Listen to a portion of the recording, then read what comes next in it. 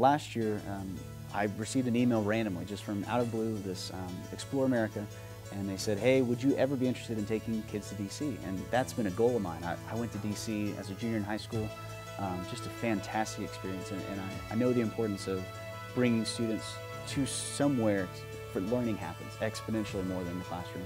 Um, I can throw a picture of the Capitol up, but it doesn't do it justice. You have to be in the rotunda. Um, so that, that had been a lifetime dream of mine to bring students, um, so I jumped at the opportunity. Um, so those students were students who successfully completed um, the AP US History course and then who fundraised and um, were able to go to DC uh, with me in, in, May. Part of the experience is connecting learning in the classroom to learning outside. And so we spend the entire year of American history learning about all these major laws, from recent things like Great Society to even the Alien Sedition Acts.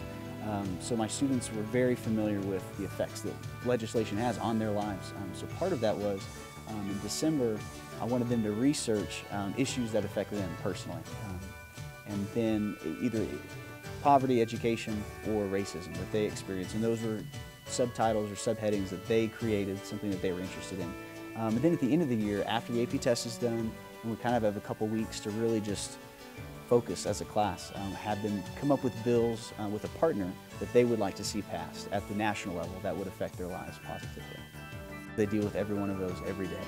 Um, I even deal with that as a teacher on the east side. I'll go to Walmart or Target or I'll be standing in line and have my Estacado shirt and um, there's a lot of assumptions that are made um, about this school.